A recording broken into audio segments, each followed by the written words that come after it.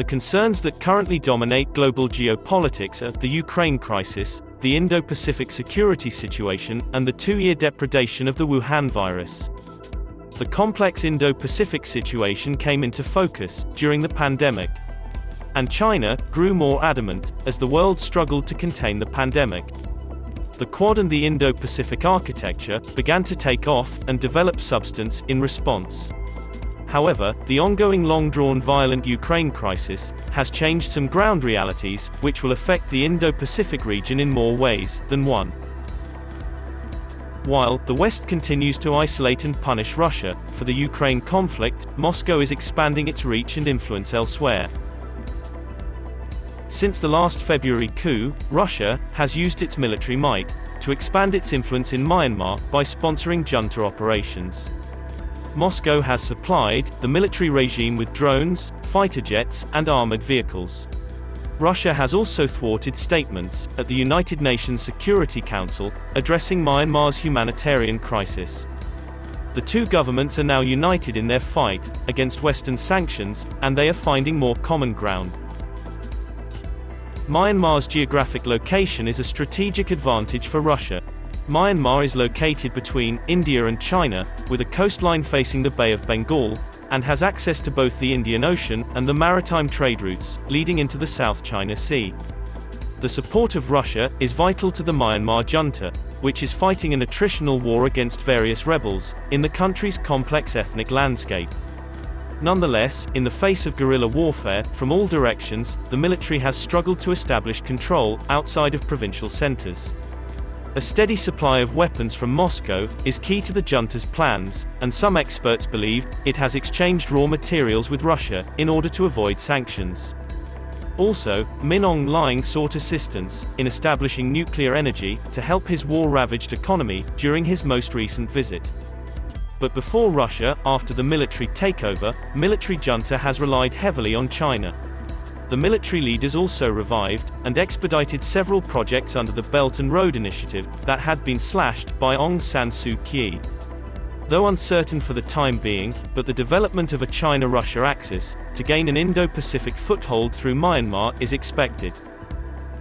Nonetheless, the Myanmar military is wary of putting all of its eggs in Beijing's basket. Unlike Russia, which has only maintained military ties with the junta, China has armed and collaborated with rebel militias. Diversifying ties by moving closer to Moscow is a welcome prospect for the junta, and Russia has begun to respond positively. The Indo-Pacific region, extending from the east coast of Africa to the west coast of the American continent, is a huge swathe. Its core is now the center of gravity of international geopolitics and geoeconomics. Its major population centers are home to eight of the top 20 economies of the world. Major conflict areas and disaster zones lie in the Indo-Pacific region. While China has many interests in the Pacific Islands and has cultivated diplomatic and economic ties with them for decades, China has quietly sought a military outpost in the Pacific Islands for years. And after the Solomon Islands signed a security pact with Beijing in April, Kiribati may be considering a similar deal. Bougainville, a Papua New Guinea autonomous region, is aiming for independence by 2027. If Bougainville achieves greater autonomy, particularly control over its own defense, it, too, could become a target for China's strategic ambitions.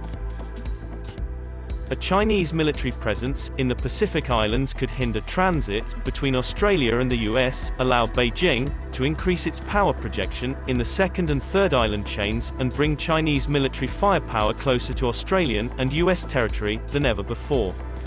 Can the US and its allies prevent this from happening? What will India, or USA, or any other member of the Quad do?